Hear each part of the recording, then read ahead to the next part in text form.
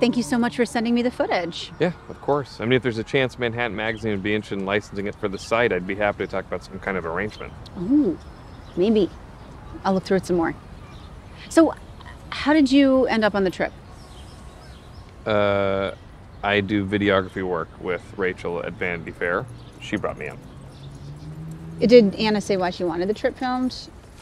I, I don't really know. She, she and Rachel had seen that Khloe Kardashian had posted something from the hotel a few months prior. I, I, I think Anna imagined she was testing her own reality show or a documentary, or the, the reason was a bit shifty. Hmm, interesting. So, can you tell me what happened?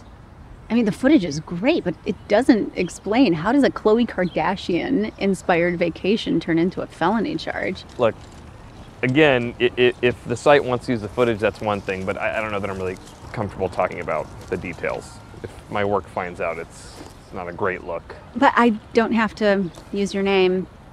Yeah, I gotta protect myself. And Rachel. And Kacy. You should